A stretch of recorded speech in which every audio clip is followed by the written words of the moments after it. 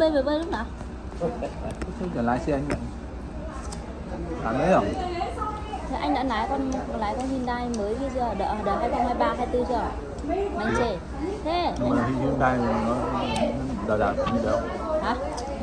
Đồ Hyundai còn nhau Bồng bềnh. Hyundai bền lắm. Hyundai bền nhất còn được bền bền Hyundai sao bền bằng bọn Toyota rồi Nhưng Toyota hợp lý nhất. Không đẹp tôi tao không đẹp.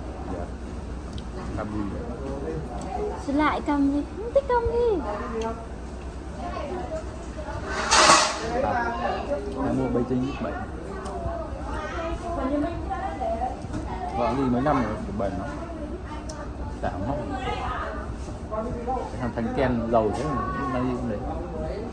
Anh phải hỏi dẹo nó xem chắc nó chán bớ đời rồi. Ờ, vâng thôi em hỏi nó. Không Ngon Nó bảo em vẫn chưa có ý định đổi. Mà tài sản em giờ mười mấy tỷ em chưa ý định đổi. Lấy xe mới nhớ gọi ra xem nhé, slot cái. Dạ. Vâng khi nào khi nào em lấy thì khi nào em lấy em gọi bác cái. Vâng, em mới mơ này gọi ra Không, xe mới thì mình xem ra.